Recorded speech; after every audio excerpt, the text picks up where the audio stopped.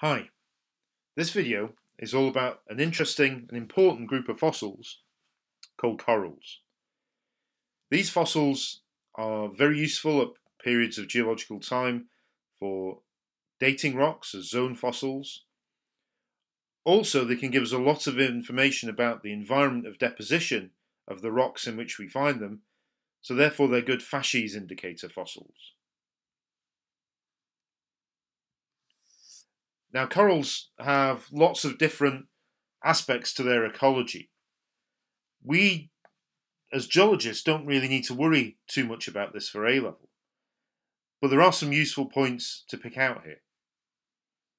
They create a, a, a calcareous skeleton made of uh, either aragonite or calcite, um, which is very, very uh, resistant to erosion.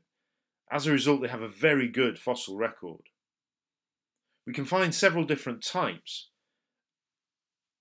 in some slightly different environments, but they can give us a great deal of information. Now, there are lots of different parts or morphological parts of a coral, but we only really need to worry about one of them. That's what we call the septum, or in plural, septa. These are vertical blades that strengthen um, this calcite skeleton of a coral to give it its great strength. We normally find these in, in a radial pattern, as you can see in this uh, really well preserved example. So the radial lines here, the ones that look like spokes on a bike wheel, are the septa. This is how we tell that a fossil is a coral, rather than, say, a burrow or a plant, which are perhaps the more, um, or the fossils perhaps we can confuse a coral for. Corals do occur in lots of different forms. Here we can see uh, the septa on uh, another species, very clearly um, marked out. But in this case, as you can see, there are lots of different individuals uh, living together. How a coral lives is the other key definitive um, difference between them that we need to think about for A level. Solitary corals are where we have one individual living on its own. It creates uh, typically a cone shaped fossil with, as you can see, one uh, place for one individual animal to live on. You can see the pattern of septa here in the end on view on the photograph.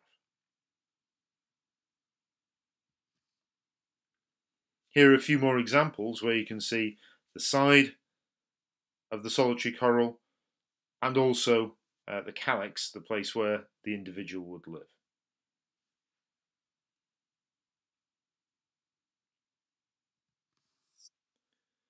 The other type we need to concern ourselves with are what we call colonial corals. This is where we have lots of different individual uh, coral animals, what we call polyps, living together in one single structure. These type of corals are extremely important when it comes to reef building processes. They can create some quite spectacular and I think quite beautiful fossils. But they should be easily distinguished from the solitary corals we've just been looking at.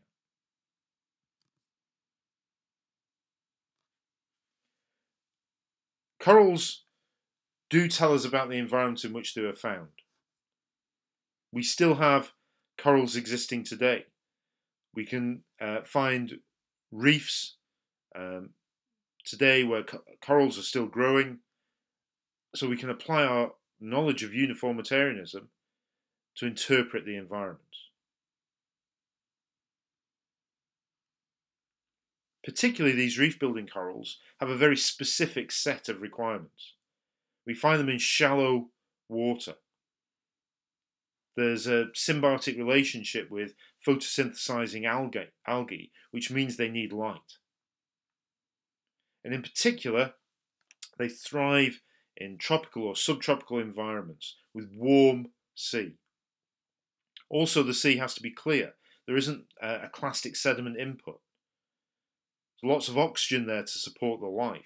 Usually quite a strong currents as well, as these animals have to sit there and wait for the food to come to them.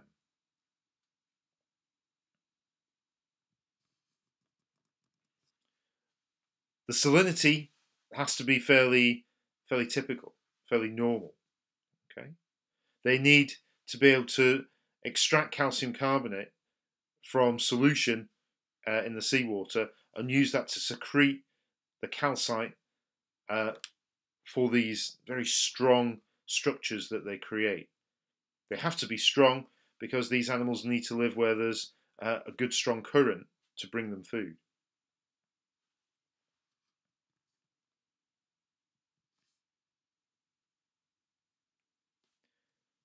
These fossils are interesting. Now, what I'd like you to do is complete your uh, notes on these animals and then come into class with your interesting question about them. I'll see you then.